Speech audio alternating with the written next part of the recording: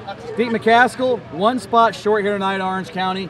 It looked like you might have been the guy to beat for most of that race, but were you, or do you think the 12 was just kind of stroking a little yeah, bit? Yeah, yeah, he had a plan. I think he was saving tires and riding, and um, you know, counting on the cautions to come to help him out. And then, um, you know, RD was running me, you know, really hard there, and I didn't want to lose the lead. So, I don't know. Part of it's my fault. I felt like I should have maybe rode a little bit, a little bit harder than I did. But um, anyway, it was a good night. We led a lot of laps. Had a really great car. Just come up one spot short. And congratulations to Timothy, man. We used to um, we used to battle here a lot back in 2002, 2003. So it's really cool for him to come in here and remember his roots and short track racing. And um, know, he's moved on to bigger and better things, but it's still really cool for him to come back and run this uh, CARS event. And we, um, I don't know, we just have to remember next time to maybe um, maybe save a little bit more tires. I thought I thought we had a little bit left there at the end, but we just got a little bit too tight, center free off. But uh, still a good night for us.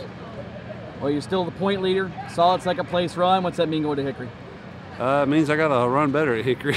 That's been my um, my downfall. We got a little better there last time we were there, so I think we'll be fine. The cars are just really working well this year for us. You know, just a lot of hard work over the off season, getting the car better and um, driving good. So I'm, I'm really looking forward to Hickory. I think we'll be a lot better than we were back there last year, and um, we'll see. You know, Josh is right there behind me, so I can't really get away from him in points. So it's gonna be a it's gonna be a great year. You know.